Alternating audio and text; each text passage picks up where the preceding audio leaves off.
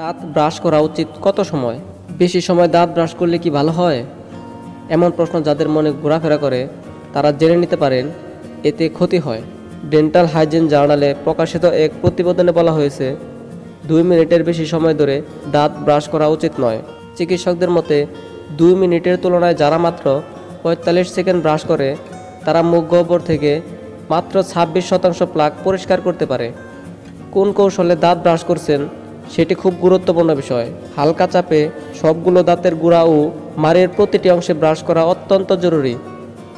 দাঁত আর মারের পাশাপাশি জিহ্বা ও গালের ভেতরের অংশেও ব্রাশ চালানো গুরুত্বপূর্ণ।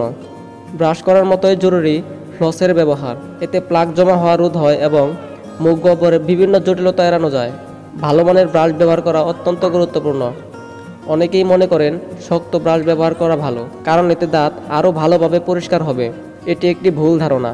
সবসময় নরম ব্রাশ ব্যবহার করা উচিত, কারণ শক্ত ব্রাশের কারণে দাঁতের এনামেলের আস্তর ক্ষতিগ্রস্ত হয়।